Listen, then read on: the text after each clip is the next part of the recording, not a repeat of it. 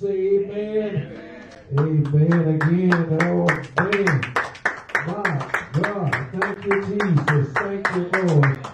Thank you, Jesus. We thank God for all of you on the internet right now. We are live right here, right now. We thank you for the encouragement as we go to Acts chapter 9. Acts chapter 9, a very familiar passage of scripture. Acts chapter 9. And I'm just going to give you a few verses to paint the picture, and then we will go from there. Acts chapter 9. It's good to see everyone on today. Amen. Amen. Amen. Acts chapter 9. Let's look at verse number 1. And it says, And Saul, yet breathing out threatenings and slaughter against the disciples of the Lord, went unto the high priest and desired of him letters to Damascus to the synagogues, that if he found any of this way, whether they were men or women, he might bring them bound unto Jerusalem. And as he journeyed, he came near Damascus. And suddenly there shined round about him a light from heaven. And he fell to the earth and heard a voice saying unto him, Saul, Saul, why persecute thou me? And he said, Who art thou, Lord? And the Lord said, I am Jesus, whom thou persecutest. It is hard for thee to kick against the pricks. Now, verse 6 Get up and go into the city, and you will be told what you must do. If I could, as you go to, the, to your seats, help to get up. Help to get up.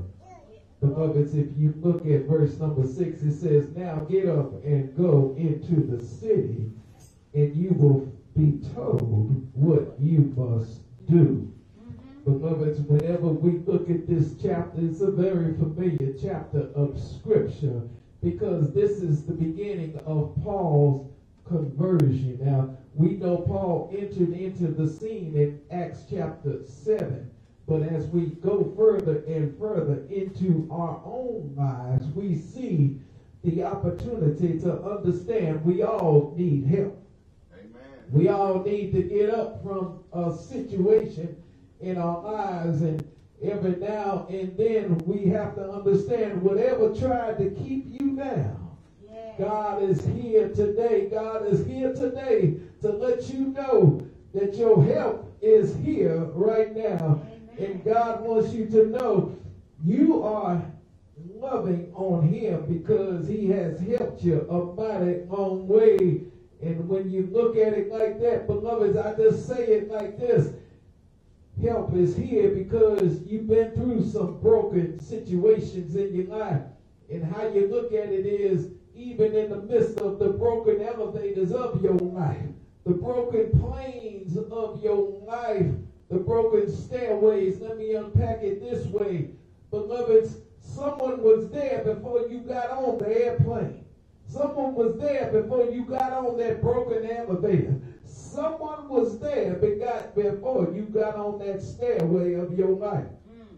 And let me encourage someone today. Beloveds, no one wants to get on a broke situation. Yeah. Oh, let me say that again. No one wants to be in a broken situation.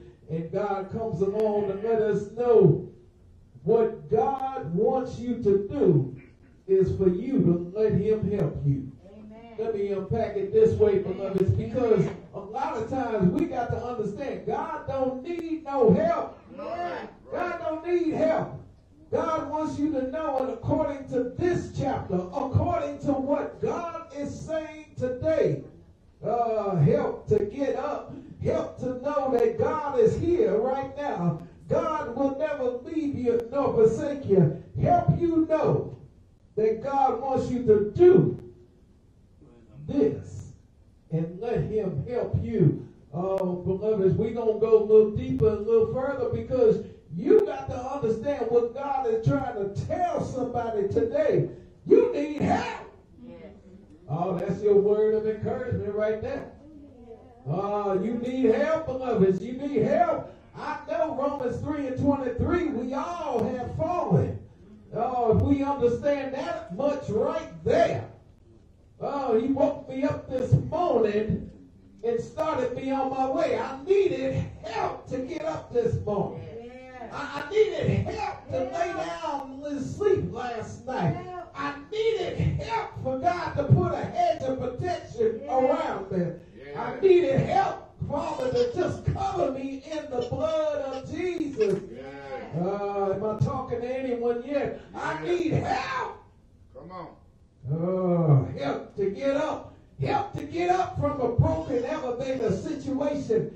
Help to get up from a bad elevator, a bad airplane, a bad stairwell. Who wants to walk on a staircase that's jacked up?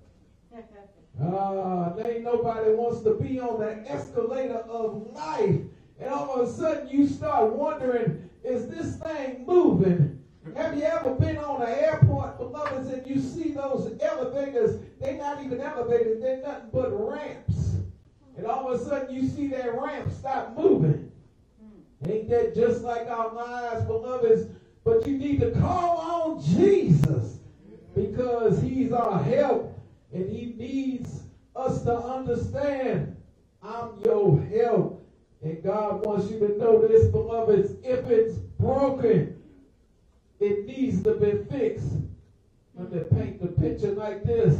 A lot of times we just say it this way. If it ain't broken, don't fix it.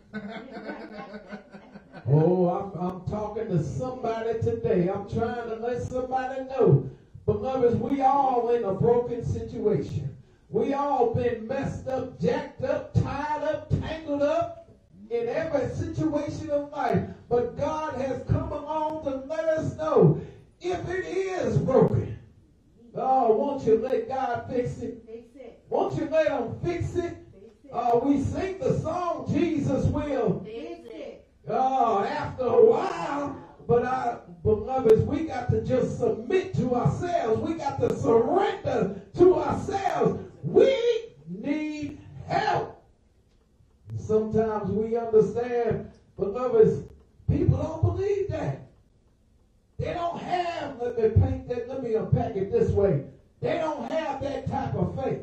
All right. All right. Uh, let me say it like my notes say it. Sometimes people don't believe they are broken. Mm. Right. They don't believe they need to be fixed. Oh, we talking about the, the, people down the street. Uh-huh. We ain't talking about fake Christians. I know you. Because every day I get up, I'm calling on Jesus. Yeah. Every minute, every hour. Oh, I need thee, oh Jehovah. All right. I need thee every minute, every hour.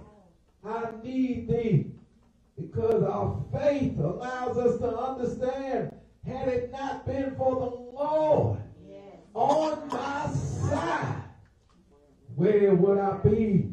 And so that leads us to the text, beloved, that leads us to understand Saul and Ananias. I'm right in the chapter, beloveds. I'm in the chapter of your life. And Saul and Ananias, watch this, discovered this was their time of testing. Oh, let me unpack it this way, beloveds. Sometimes you got to understand God woke you up and knowing that you don't know what God's about to do, He's about to test you mm. in your faith. And every now and then, we don't know what happened this whole week. We don't know what happened in all these nine months, but here we are in the month of September. And beloved, our time of testing is right here, right now. And so we understand in the midst of a Saul and an Ananias, I'm in the text, beloved, you got to understand, in the midst of Ananias, he had his own testing. In the midst of Saul, he had his own testing. And here it is, they about to come together. Have you ever come together at your job or in your situation or what it looks like? Beloved, sometimes you got to understand as a child of God, God wants you to know whatever was broken in your life uh, that kept you down. God is here to help you get up. Oh, beloved, God is here right now. Oh, you got to admit, you got to go ahead and finally surrender and submit. Lord, yeah, I'm broken. I am beat up. And so God is here to get you up, to get you out of some broken situations. And that's what leads us to the text on today. Look at verse 1 and 2 of chapter 9. It says, Saul, yet breathing out threatenings and slaughter against the disciples of the Lord, went into the high priest and desired of him letters to Damascus to the synagogues, that if he found any of this way, whether they were men or women, he might bring them bound to Jerusalem. Beloveds, here we are. Paul is still Saul, and, and he's about to run into uh, the greatest of greatest, the King of kings and the Lord of lords. He was serving the wrong master. He was serving, well, maybe I'm going to take that, I'm going to rewind that. I'm going to just do like I'm fly fishing. We are in the waters of life. And all of a sudden you throw that net, you throw that bait out there, but you're trying to catch the wrong type of fish. And all of a sudden God wants you to understand, beloveds, God measures your motives because he is changing your ways. And all of a sudden we see that in chapters 9, verses 1 and 2, because here's Saul coming down Damascus Road and we understand what took place in the midst of Stephen. We understand even in chapter 8 and how we see Philip and, and what God can do with the Holy Spirit. And knowing that Philip was there with the eunuch and God allowed the Spirit of God to move Philip in the midst of the Holy Spirit. All of a sudden, can you see it for yourself? You know you were a child of God. You know you spent time with God and the Spirit of God just moves you. That's what happened with Philip in the chapter 8 of your life. But all of a sudden, something evil comes even greater in your life. And God said, My help, I'm your help. My help comes from the Lord. And so God allows us to understand in the midst of the text, He's measuring your motives. Oh, I'm going to unpack this this way. Can I preach it like this? He's measuring who you are in Jesus Christ. Oh, sometimes we got to understand God knows your every situation. He knows who you are even before you was born. He knew every hair on your head. And all of a sudden, here you are on this earth. This ain't your final destination, especially when you accepted Jesus Christ as your Lord and Savior. So God comes along and Paul says it down the road in the letter of Romans. We all have a measure of faith. And all of a sudden, all I'm saying is God is measuring your motives. He's measuring your faith because he's changing your way. And that's what those verses are telling us in the midst of here comes picture to picture. All of a sudden, evil is coming down Damascus Road, headed to Jerusalem. And God's about to pause your life. He's about to pause you to let you know God is here to get you up out of some broken situation. Let me say it like this. Paul didn't know he was broken. He didn't know he was messed up. He didn't know he was jacked up. He thought he was doing everything for the right leadership. And sometimes we got to understand, beloveds, when you a child of God, God will reckon you. God will make you realize who you really are in Christ. In other words, if you accepted me, then you're going to be with me. Mm. And all of a sudden, we understand we really need some help. We really need help. And God shows up to let us know as he journeyed in verse 3 and 4, he came near Damascus. Here it is. And suddenly there shined round about him a light from heaven. And he fell to earth and heard a voice saying to him, Saul, Saul, why persecutest thou me? Let me unpack that a little bit, beloveds, because first of all, here's Jesus Christ, the glorified Christ. He's already had the resurrection. He's already sitting at the right hand of the Father. He's already ascended into heaven. He's showing his power right now. And somebody needs to know in the midst of your help, he is power, and all you got to do is pray. And so when you look at that, beloveds, you understand miracles of God happen because of his mercy. Uh, his mercy is in you, beloveds. He's calling because God has already set a plan. He's already letting us know in the midst of how he came into this earth. He showed his humility. And as anyone knows, as a child of God, you have the humility if you are real about Christianity God comes along and lets you know we all need help. We need help because of his mercy. He humbled himself and showed up in our lives, and he allows us to understand. Saul, it ain't like I really need you. Mm, all right. I'm gonna give y'all a minute. But you got a choice.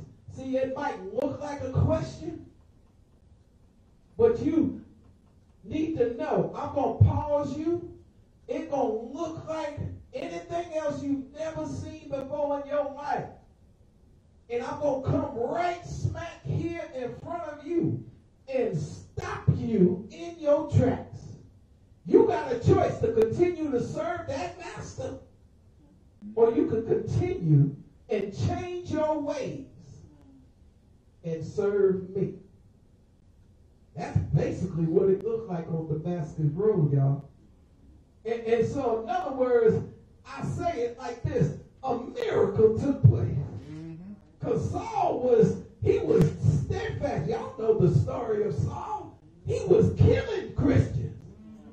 Mm-hmm. He was with Rome. Mm-hmm. He was doing the things of evil. And all of a sudden, God said, Look, I'm about to put this miracle on you. And it's because of my mercy, not because of anything you've done. Right. Right. Right. I'm giving you mercy right now. I'm going to give you a chance. Matter of fact, I'm going to give you such a chance. I'm going to call you, and it's so important, I'm going to call you twice. Mm. Oh, some of y'all got them cell phones. All you got to do is hear that right number. Y'all got the chimes hooked up. You know. What, what, what's up, baby? You know. You know it, boy. And all of a sudden, Christ comes on. And he said, This is your miracle. You ain't you can't go any further. This is it in your earthly journey. Yeah, yeah, Y'all hear what I'm saying? yeah. And all of a sudden we got to understand help. Yeah, no, no, I'm right here. Help! No, no, no. The devil can't do nothing. Help! Yeah. Satan can't no. The demons can't help. Mm-hmm. No. The underworld can't do help. Oh, you don't understand? What does that? I can't see nothing. And the scripture says, watch this. I'm right on schedule. I'm going to shut it down in a minute. The scripture says that all the ones he was traveling with, they they they heard, but they didn't hear what Christ said. Mm. And all I'm trying to say, beloved, is the miracle that you asked for is for you only. Yeah. Right. Thank you, Lord. Ain't nobody can get in on your blessing. Amen. because God knows who you are. He knows your motivation. He knows. You can't be a part of the, the household of the kingdom of God and expect to ride, ride. No. You can't ride or die off of my blessing. Come on. Oh, I'm going to preach this. You can't ride or die off my blessing. I got to stand before God, not you. You could stand down there with Lazarus and ask for that drop of water. And God comes along and lets us know we need help. And so he encourages us. He's telling us, look, look at verses 5 and 6. And he said, Who art thou, Lord? And the Lord said, I am Jesus, whom thou persecutest. It is hard for thee to kick against the pricks. Now get up and go into the city, and you will be told what you must do.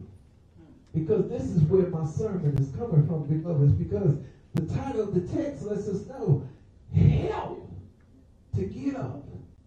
And we got to understand God makes use of your gifts because of his grace. Mm. Oh, let me unpack it this way. Your gifts don't change. Mm. I created you. But some don't believe that.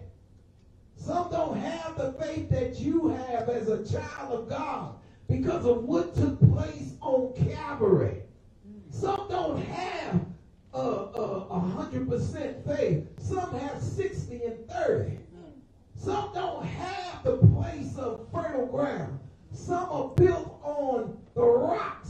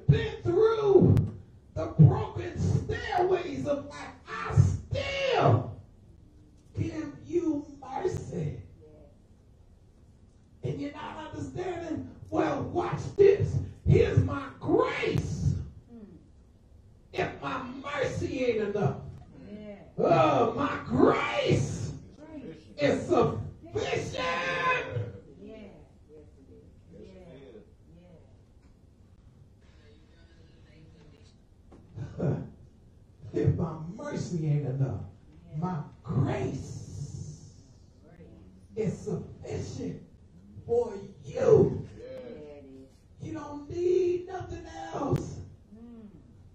You don't need nothing else. And, and so the chapter 9 of your life lets you understand help to get up. Because maybe you just didn't want to get up this morning. Uh, help to get up. Maybe you didn't want to get up out of your situations of life. Maybe you wanted to continue to be in some bad situations. Just maybe. But God came along to tell you, you're not the only one, Saul. I blinded you right now because I wanted you to understand the supernatural things of who I am. I am the God. I am El Elyon. I am the King of Kings, the I am that I am. I told Moses, I told Joshua, I told Deborah, I told Israel. And all of a sudden, here we are in the chapter of your life. I'm speaking to somebody. Ah, maybe it's someone on the internet. Somebody needs to know in the midst of who God is. This, this is what impressed me about this in Damascus Road and how we look at it. Here's Saul, who became one of the, the most beloved to bring the word of God in the New Testament of life. And God even goes further in the midst of Luke himself, writing this in chapter 9 of the book of Acts, and telling us not only did I deal with Saul, but I have to let you know, even in the midst of Saul, Peter, who was who he is because he was with me. He shows us and he sends us encouragement because Peter had to understand in the midst of not only knowing who Saul was, who became And he sent Ananias, who Ananias understood the fear of God.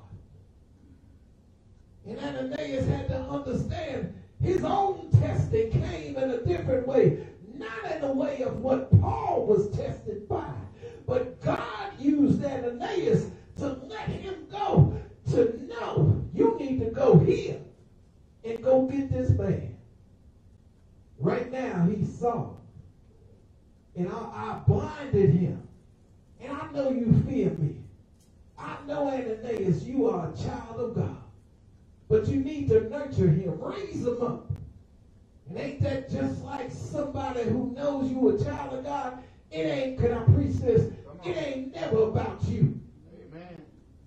Amen. Uh, help to get up ain't about you. Because you accepted Jesus Christ. And God wants you to grow in faith. And, and so here's, here's Dr. Luke. I love the way he penned this and how he was doing it. He gives us the Damascus Road in the first part of the chapters of, of chapter 9. But then as we get further down deeper, all the way to the 42nd verse, we understand here's Peter. Peter, Peter. Peter comes along in verse 34. And just like somebody who needs to know this in their lives, God says, help, get up. In other words, somebody's speaking because you've been through. And God is trying to raise you up to be encouraged about who he is. And so God tells us in the midst of that same chapter of your life, I'm even going to show you what God can do through an already made disciple. And God came along and shows us Aeneas. And Peter comes along and, and, and, and the Holy Spirit allows him to raise up another. And then here comes Tabitha. And God says, and he lets us know, God will help whoever needs help, beloveds, out of some broken situation. Oh, we know Peter.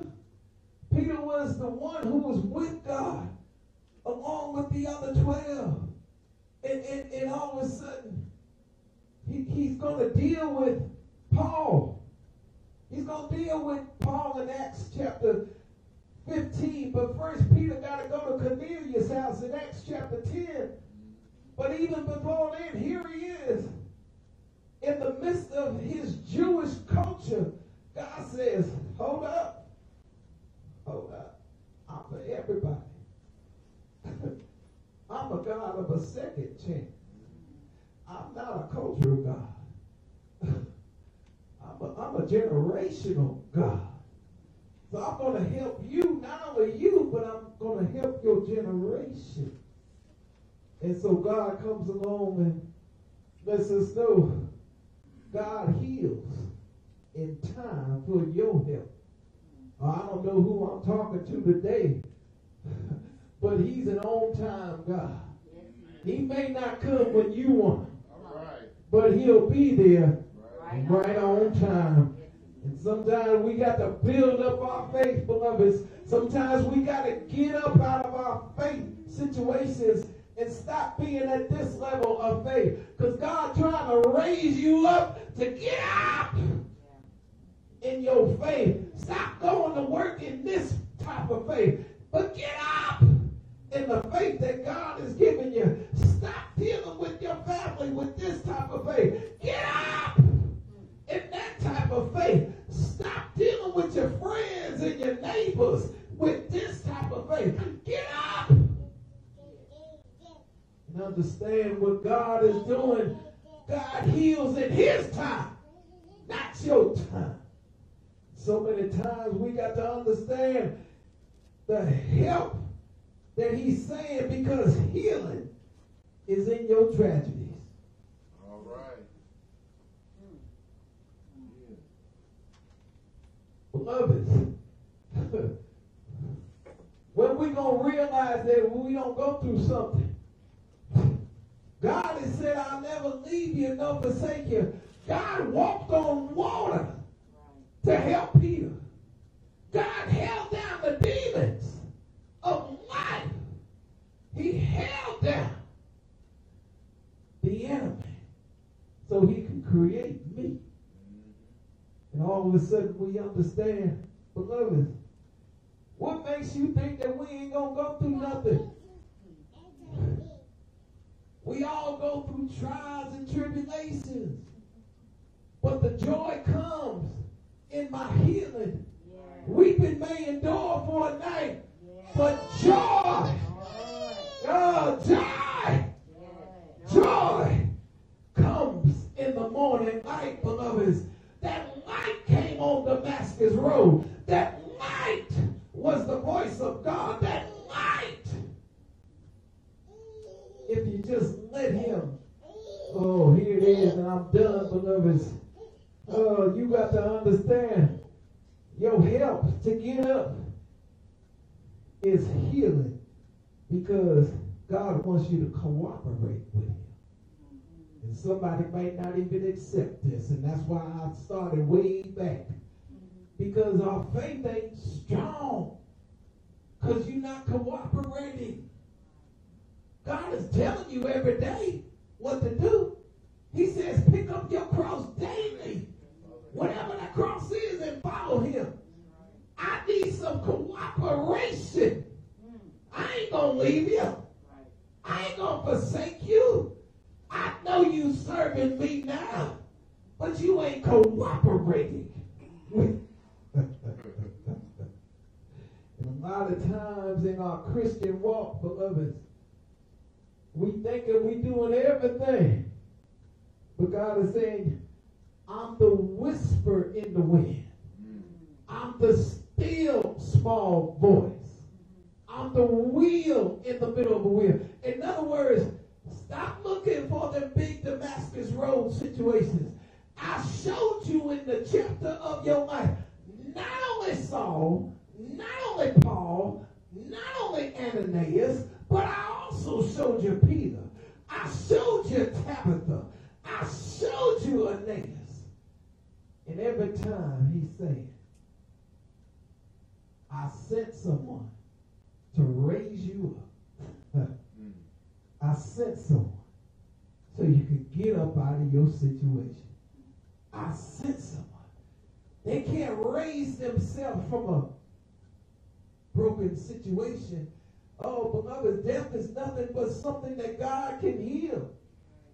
He's the first resurrection, the only. And he shows us right here in the text. I'm going to show you your life right here in your life. So help. Yeah. How to help to Jesus. How to help because he went to Calvary for you. How to help because of his grace and mercy. And only the blood of Jesus can help you. So God wants us to understand, yes, he can do it. He can do it. And all you have to do is believe that healing happens because you are cooperating, Yeah, not disassociating. All right. Oh, that's a 25 cent word. God wants you to associate himself. Tell the world, put on a t-shirt. Say Jesus on it. Jesus set me free. Ah, that's enough, beloved. That's enough. You gonna get it on the way home. God wants you to know. Uh, he wants you to understand. Thank God for Calvary. Thank God for showing me what God can do in our lives. Because healing happens when I cooperate with God. Oh, isn't it a joy? We saw Mary and John cooperate. They understood because they was there on Calvary. And Jesus showed up. He took back the keys of hell. He rose. He got up. And he lived in our hearts. Beloved, ain't that joy?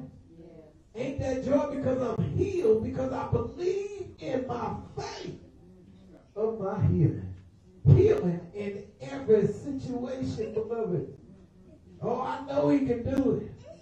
Won't he do it in your life? Give God a hand clap of praise. The invitation is extended to somebody, somebody on the internet right now needs to know that Christ is love. Not was love. He is love. He is our help. He is eternal. He is faithful, beloveds. And when you understand that, we understand we all have sinned and come short of the glory of God. God demonstrates his love for us. That while we yet we were still sinners, he died for us. God lets us know that if we confess with our mouth and believe in our heart that Jesus is died and God has raised him from the dead, the Bible says we are saved. So understand, beloveds, Christ is love. Maybe somebody needs to know that today. Every head bowed, every heart humble. Father, we thank you for understanding all our help. All our help comes from the Lord Jesus Christ. And we thank you. We accept him. We cooperate with him. And we have acceptance and agreement with Christ right now in Jesus' name. Amen. Wherever you're at on the internet, give God your heart. Give the local pastor your hand. God bless you. Bye bye.